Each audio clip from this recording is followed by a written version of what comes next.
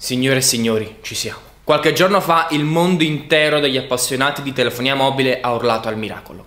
Google ha presentato il Nexus 5 nella variante rossa. Ed eccolo qui! No, non è vero, stavo scherzando, scioccherelli, quello era un Nokia 1520, ma è sempre rosso. In realtà, signori, il Nexus 5 rosso è qui. Un meraviglioso dispositivo Google Experience che si caratterizza per il suo tipico colore rosso. Infatti, le differenze rispetto agli altri Nexus 5 risiedono proprio in una caratteristica fondamentale per uno smartphone oggigiorno. Esatto, è rosso. In questo video faremo un veloce e meraviglioso unboxing, lo so che sapete che a me non piacciono tanto gli unboxing, ma me l'avete chiesto, nel quale vi farò vedere il nuovo Nexus 5 rosso in tutto il suo splendore, perché voi mi dite quello che devo fare e io lo faccio. Insomma, io sono Dario Caliendo e questa volta apriremo assieme il nuovo smartphone di Google tutto rosso. Allora ragazzi eccoci qua, io ho preso dalla Fagoggia e aperto lo smartphone, devo dirvi la verità, però lo riapriamo assieme perché è sempre bello condividere queste cose cari.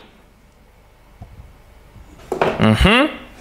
E voilà, e questo è il Nexus 5 rosso. Ok, ciao. Non è vero ragazzi, stavo scherzando, sono proprio un giocherellone. Ecco il Nexus 5 rosso. La colorazione rossa è molto molto molto accesa, evidenziata anche dal materiale con il quale è realizzata la back cover, che a differenza della colorazione bianca, della colorazione bianca del Nexus 5, copre anche i bordi, quindi i bordi sono colorati nel Nexus 5 bianco in realtà i bordi non sono colorati. In realtà non c'è nessun'altra differenza, come abbiamo visto nel Nexus 5 bianco l'altoparlante segue il colore della scocca posteriore, la fotocamera è sempre la stessa che abbiamo trovato sugli altri Nexus 5, che poi in effetti cambia solo il colore, ricordiamolo, però con la cover rossa spicca un po' di più. Tasto d'accensione sulla destra nero, tasti per il volume sulla sinistra neri. E questo è il Nexus 5 rosso, non stiamo neanche ad accenderlo perché di questo telefono non abbiamo parlato in abbondanza nella nostra video recensione, vediamo giusto cosa esce dalla scatola ma già sappiamo che oltre all'alimentatore non esce nient'altro. E infatti ecco qui cavo USB nella tipica confezione made in Cina